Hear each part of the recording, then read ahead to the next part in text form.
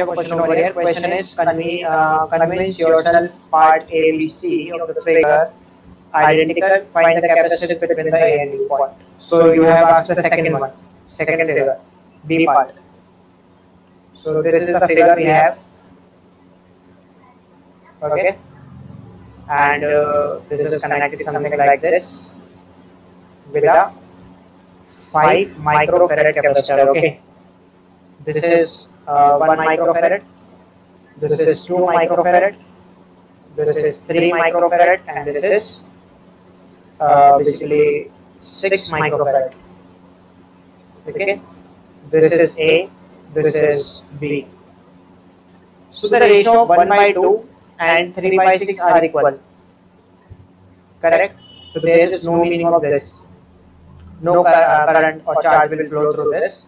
That means uh, we have the combination something like this. This is AB, and we have two capacitors on the upper section and two capacitors on the lower section.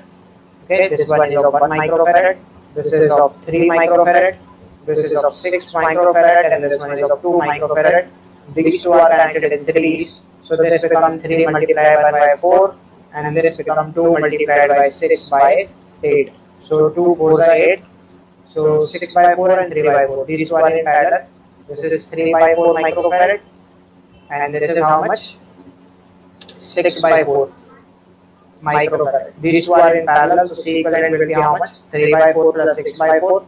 That is 9 by 4 microfarad. Okay. So this is the equivalent capacitance between these two capacitors. Okay. So hope this answered your question. Thank you very much.